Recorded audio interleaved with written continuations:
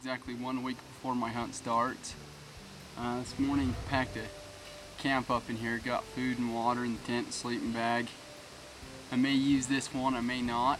Um, it's just nice to know that I'll have this camp in case that bull that we saw a couple nights ago, in case we can't get on him, we can always come back to this spot.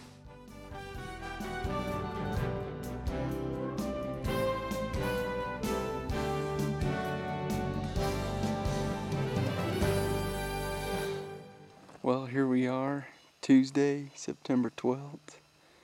Spotted, what would you say, number two bull on the list. Great big six point, so got dad with me today. Found a good one. Just need to find him on Saturday now. yeah.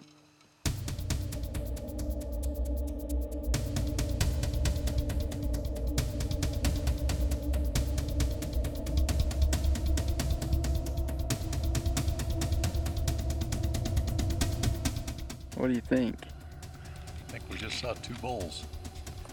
And I think one of them is probably going to get shot at.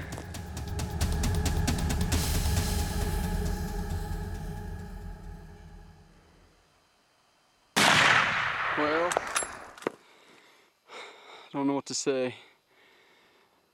I just killed my bull. Oh, it's awesome.